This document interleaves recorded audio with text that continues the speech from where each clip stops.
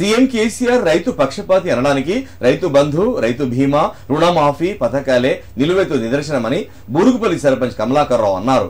గత పాలకుల హయాంలో ఎడారిగా ఉన్న తెలంగాణను బీఆర్ఎస్ పాలనలో కాళేశ్వరం నీటితో సస్యశ్యామలం చేసిన ఘనత సీఎం కేసీఆర్ మంత్రి హరీష్ రావుకే దక్కుతుందన్నారు. రైతు రుణమాఫీ పట్ల హర్షం వ్యక్తం చేస్తూ సిద్దిపేట అర్బన్ మండలం బూరుగుపల్లి గ్రామంలోని రైతు వేదిక వద్ద సర్పంచ్ ఆధ్వర్యంలో సీఎం కేసీఆర్ మంత్రి హరీష్ రావు చిత్రపటాలకు పోలాభిషేకం నిర్వహించారు. కార్యక్రమంలో గ్రామస్తులు రైతులు యువకులు పెద్ద ఎత్తున పాల్గొన్నారు. ఈ సందర్భంగా సర్పంచ్ కమలాకర్ రావు మాట్లాడుతూ రైతుల కోసం అనేక సంక్షేమ పథకాలు అమలు చేస్తూ రైతాంగాన్ని ఆదుకున్న ఘనత బీఆర్ఎస్ ప్రభుత్వానికే దక్కిందన్నారు. దేశంలో ఎక్కడా లేని విధంగా తెలంగాణలో అభివృద్ధి జరుగుతుందన్నారు. అనంతరం రైతులతో కలిసి ఒకరికొకరు స్వీట్లు తినిపించుకుంటూ సంబరాలు జరుపుకున్నారు. ఈరోజు బూరుపల్లి గ్రామంలో రైతులకు లక్ష రూపాయల వరకు రుణమాఫీ చేసినటువంటి గౌరవ ముఖ్యమంత్రి గారికి గౌరవ మంత్రి గారి హరీష్ రావు గారికి బాలాభిషేకం చేయడం జరిగింది. అయితే కేసీఆర్ అంటేనే రైతు మార్పు. కేసీఆర్ అంటేనే రైతులకు మనిషి. కేసీఆర్ అంటేనే రైతుల దేవుడు కేసీఆర్ అంటేనే రైతు బాగుంటుంది రాజ్యం బాగుంటుంది. రైతులు తెలంగాణ ప్రాంతం రైతులు అభివృద్ధి చెంది తెలంగాణ అంతా కూడా అభివృద్ధి చెందుతుందనే మార్గంలో ఏదైతే తెలంగాణ ప్రాంతం ఎడారిగా ఉండే రెండు వేల పద్నాలుగు ముందు ఎక్కడ చూసినా కరెంటు కోతలు వివిధ రైతుల ఆత్మహత్యలు ఇటువంటి వివిధంగా దారుణంగా ఉండే తెలంగాణ ప్రాంతాన్ని తెలంగాణ రాష్ట్రంలో గౌరవ ముఖ్యమంత్రి కల్వకుంట్ల చంద్రశేఖరరావు గారు మరి రైతు జన బాంధవుడు ఈ గడ్డ బిడ్డ మరి రైతు కష్టాలు అష్ట కష్టాలు పడ్డ తీరు ఆయనకు తెలుసు కాబట్టి రైతు బాగుంటేనే దేశం బాగుంటుందని రైతు వేసిన రైతు ఏడ్చిన రాజ్యం బాగుపడదు ఎద్దేసిన వ్యవసాయం బాగుపడదని చెప్పిన మన గౌరవ ముఖ్యమంత్రి చంద్రశేఖరరావు పాడి పంట మంచిగుంటేనే ప్రజలు మంచిగుంటారు దేశం మంచిగుంటుంది దేశం కూడా పురోగతి సాధిస్తుందని తెలిసి మరి ఈనాడు రైతు బాగుండాలంటే మరి ప్రగతి సాధించాలంటే రైతు ముందు మంచిగా ఉండాలి ఇలా రైతు బురద బుక్కి బురద గక్కి ఆరు కాలాలు కష్టపడి వ్యవసాయం చేస్తే ఆ రైతుకు దిక్కులేని పరిస్థితిలో ఈనాడు ఎన్నో ప్రభుత్వాలు కూడా ఏవి ఏం చేయక పట్టించుకోలేదు.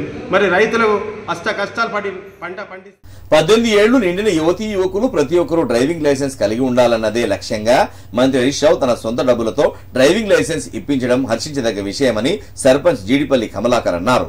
సిద్దిపేట అర్బన్ మండలం బూరుగుపల్లి గ్రామంలోని రైతు వేదిక వద్ద గ్రామంలోని నలభై నాలుగు మంది యువకులకు లర్నింగ్ లైసెన్స్ పత్రాలను బీఆర్ఎస్ మండల ప్రధాన కార్యదర్శి రామరాజుతో కలిసి సర్పంచ్ అందజేశారు. లైసెన్స్ లేకుండా డ్రైవింగ్ చేయడం చట్టరీత్యా నేరమని అజాగ్రత్త వల్ల వాహనాలు నడిపి ప్రాణాల మీదకు తెచ్చుకోవద్దని సూచించారు. నియోజకవర్గంలోని ప్రతి గ్రామంలో యువతి యువకులకు డ్రైవింగ్ లైసెన్స్ అందజేస్తున్న మంత్రి హరీష్ రావుకు ఎల్లప్పుడూ రుణపడి ఉంటామన్నారు.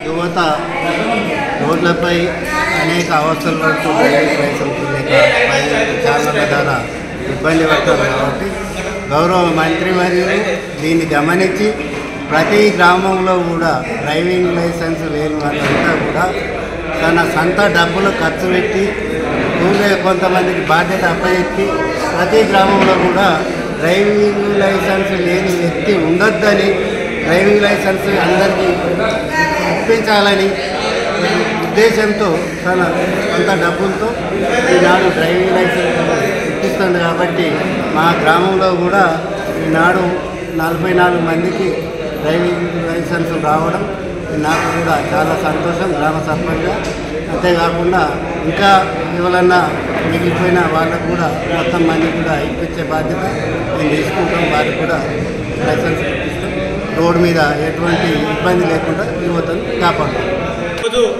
గౌరవ మంత్రి తన్నీరు హరీష్ రావు గారి ఆదేశానుసారం ఏదైతే తెలంగాణ రాష్ట్రంలో గ్రామాలలో యువకులు డ్రైవింగ్ రాకుండా డ్రైవింగ్ లైసెన్స్ లేకుండా చాలా ఇబ్బందులు పడుతున్నారని చెప్పి గౌరవ మంత్రి గారు మానవతా దృక్పథం ఆలోచించి ప్రతి గ్రామంలో ఒక యువకుని చైతన్యపరిచి గ్రామంలో ఎంతమంది యువకులు ఉన్నారో డ్రైవింగ్ లైసెన్స్ లేని వాళ్ళు వాళ్ళందరినీ గౌరవ మంత్రి గారు తన సొంత నిధుల నుంచి తన సొంత డబ్బుల నుంచి లైసెన్స్ మీ సేవలు అప్లై చేయించి మా అందరినీ కోఆర్డినేట్ చేసుకుంటూ దాదాపు గ్రామాల వారికి ఒక్కొక్క గ్రామంలో రెండు వందల మంది మా గ్రామంలో యాభై మందికి డ్రైవింగ్ లైసెన్స్ ఇప్పిస్తే దాదాపు నలభై ఐదు మందికి వచ్చినాయి. మరి కొంతమందికి ఇంకొక వారం పది రోజుల్లో మరో ముప్పై మందికి దాకా దాదాపు వంద నూట యాభై మందికి ప్రతి గ్రామం నుంచి మూడు వందల మంది దాకా గౌరవ మంత్రి గారి సహకారంతో ఈరోజు డ్రైవింగ్ లైసెన్స్ ఉచిత డ్రైవింగ్ లైసెన్స్ వస్తున్నాయి.